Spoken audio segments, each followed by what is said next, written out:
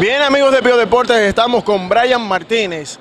Le dicen en Villajuana, le dicen en el Club Mauricio Báez, el aviador, así como también en diferentes partes del país que él va a reforzar. Brian, gracias por estar con nosotros en Pío Deportes.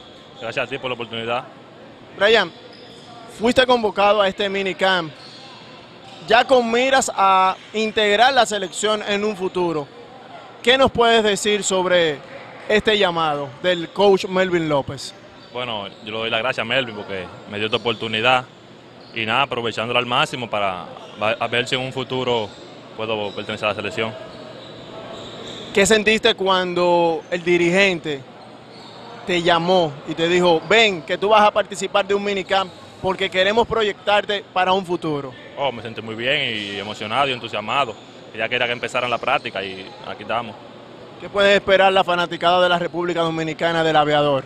Bueno, muchas cosas. Estoy trabajando para eso, para sacar el máximo de mí. ¿Qué podemos en el futuro esperar en los diferentes torneos de Brian Martínez? Aprender un poco cada día y dar mi mejor esfuerzo en cada torneo que vaya.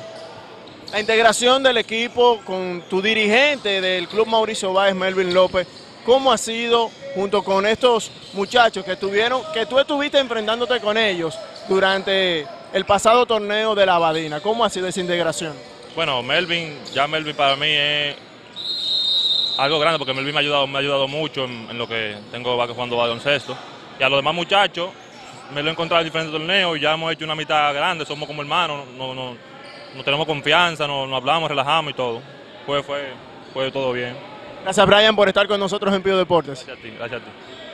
Las palabras de Brian Martínez, el aviador, quien estuvo conversando con nosotros para Pío Deportes.